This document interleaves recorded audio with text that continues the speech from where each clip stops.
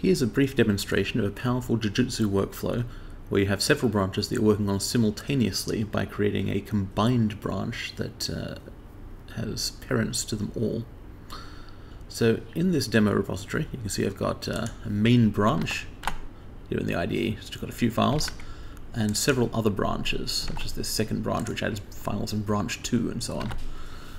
To create a combined branch that wraps them all up, I can just create a new merge commit here and make the other branches parents of this revision. So now, I'll make a new working copy. We're now working on top of all three branches, 1, 2, and 3, simultaneously. I have files from branch 1, branch 2, and branch 3. I could make some changes that depend on all this code. Let's add a new file here. Even more files. And having done this, I might now want to move some of the changes uh, into the branches. So I could take this entire commit and simply put that one over on branch 3. I'll insert it between these two commits here.